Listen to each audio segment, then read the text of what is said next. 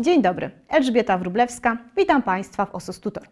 Dzisiejsze spotkanie będzie poświęcone telemedycynie. W czasach pandemii wywołanej koronawirusem zdalne konsultacje z lekarzem okazały się niezwykle potrzebne, a telemedycyna, która do tej pory rozwijała się w Polsce powoli i stopniowo, nagle stała się koniecznością i tym samym codziennością. Wielu lekarzy ma wątpliwości, jak dokładnie należy postępować, udzielając teleporad. Na nową formę świadczeń nie są też przygotowani wszyscy pacjenci, ale zarówno lekarze, jak i pacjenci widzą w tym ogromną szansę. Na początku musimy odpowiedzieć sobie na pytanie, czym w ogóle jest telemedycyna. Telemedycyna to w skrócie medycyna na odległość. Polega na świadczeniu usług medycznych, rezygnując z bezpośredniego kontaktu chorego z lekarzem, za pośrednictwem systemów teleinformatycznych lub systemów łączności. Zatem telemedycyna to forma świadczenia usług medycznych i opieki zdrowotnej, która łączy w sobie elementy telekomunikacji, informatyki oraz medycyny. Wróćmy jednak na chwilę do początku.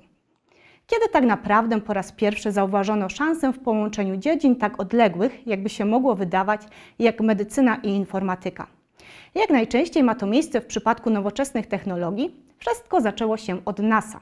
Telemedycyna po raz pierwszy została zastosowana podczas lotu kosmicznego amerykańskiego astronauty Johna Glena.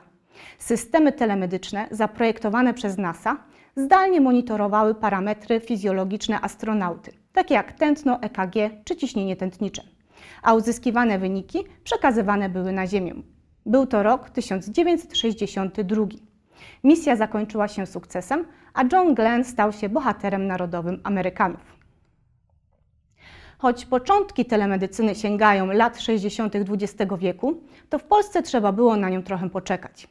Ramy prawne jej funkcjonowania w Polsce zostały wprowadzone w 2015 roku. Wtedy właśnie w życie weszła duża nowelizacja zmieniająca szereg ustaw okołomedycznych, w tym ustawę o działalności leczniczej oraz ustawę o zawodach lekarza i lekarza dentysty. Przedmiotem tej nowelizacji było m.in. dostosowanie przepisów do wprowadzenia elektronicznej wersji recept skierowań, a także doprecyzowanie przepisów dotyczących tzw. Tak telemedycyny. Podstawowym przepisem prawnym stanowiącym o możliwości udzielenia świadczeń zdrowotnych na odległość jest artykuł 3 ust. 1 ustawy o działalności leczniczej. Dziś telemedycyna ma swoje 5 minut, głównie z uwagi na pandemię koronawirusa, która ją spopularyzowała. Nie jest to jednak zupełna nowość w naszym systemie zdrowia, ponieważ sama możliwość realizacji świadczeń medycznych na odległość istnieje już ponad 5 lat. Udzielanie świadczeń telemedycznych jest możliwe, gdy jest to zgodne ze wskazaniami aktualnej wiedzy medycznej co oznacza, że osoba wykonująca zawód medyczny w oparciu o swoje kompetencje i zgodnie z zasadami aktualnej wiedzy medycznej powinna stwierdzić, czy dany problem lub schorzenie, z którym zgłasza się pacjent, nadaje się do diagnozy czy leczenia w taki właśnie sposób. Spełnione są wszelkie wymogi prawne związane z danym świadczeniem, innymi wymogi dotyczące bezpieczeństwa przetwarzania danych medycznych.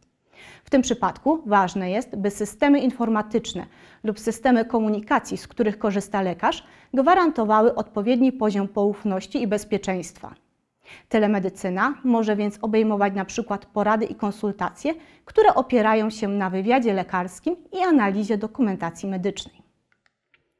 Konsekwencją dopuszczenia udzielania świadczeń zdrowotnych za pośrednictwem systemów teleinformatycznych jest zagwarantowanie możliwości wystawiania odpowiednich dokumentów, takich jak recepta, skierowanie, zaświadczenie lekarskie o niezdolności do pracy, zwane powszechnie L4, oraz zlecenie na wyroby medyczne.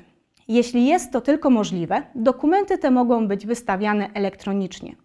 W takim przypadku pacjent jest w stanie otrzymać potrzebne mu dokumenty bez wychodzenia z domu. Teraz w telegraficznym skrócie odpowiemy na najczęściej pojawiające się pytania w kontekście świadczenia usług telemedycznych. Czy telemedycyna jest zgodna z zasadami etyki lekarskiej? Jest ona dopuszczona przez prawo. Oczywiście telewizyta czy teleporada musi być przeprowadzona zgodnie z obowiązującymi zasadami etyki lekarskiej, w szczególności zachowaniem tajemnicy lekarskiej oraz zgodności z sumieniem lekarza. z dokładnym poinformowaniem pacjenta o ewentualnych ograniczeniach konkretnej metody telemedycznej. Czy teleporady mogą przeprowadzać wyłącznie lekarze? Nie.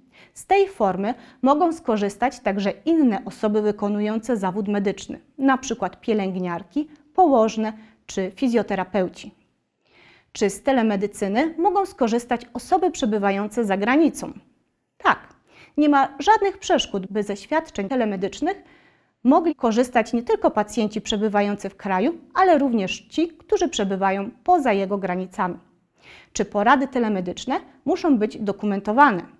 Tak, porada telemedyczna stanowi świadczenie zdrowotne, tak samo jak porada udzielana bezpośredniej obecności pacjenta. Dlatego też powinna być udokumentowana w dokumentacji medycznej pacjenta na zasadach ogólnych, a w szczególności zawierać opis medyczny oraz dane identyfikujące pacjenta. Co zatem daje nam telemedycyna?